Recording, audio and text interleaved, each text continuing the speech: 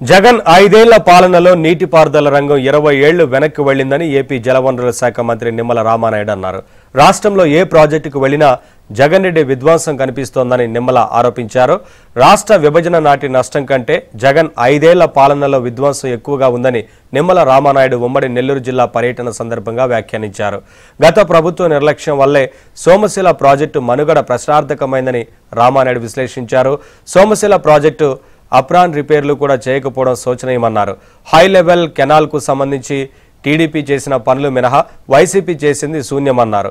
జగన్ ప్రభుత్వం చేసిన నష్టాన్ని పూడ్చుకుంటూ ముందుకు పోయే బాధ్యత తమపై ఉందన్నారు. ఇటువంటి క్లిష్టమైనటువంటి స్థితిలో కూడా మళ్ళీ ఇరిగేషన్ శాఖను ఎందుకంటే చంద్రబాబు నాయుడు గారికి ఇది అత్యంత ప్రాధాన్యత కలిగినటువంటి శాఖ. ఎందుకంటే విడిపోయినటువంటి ఈ చిన్న నవ్యాంధ్రప్రదేశ్ రాష్ట్రం వ్యవసాయం మీద ఆధారపడినటువంటి రాష్ట్రం రైతులు బాగుండాలి అనేటువంటి ఆలోచనతో చంద్రబాబు నాయుడు గారు ఖచ్చితంగా ఈ ఇరిగేషన్ శాఖ పెద్దపేట వేసి దీన్ని మళ్ళీ ముందుకు తీసుకెళ్ళాలనే ఆలోచనలో ఉన్నాం కాబట్టి ఈ సవాళ్ళన్నింటినీ కూడా ఒక్కొక్కటి అధిక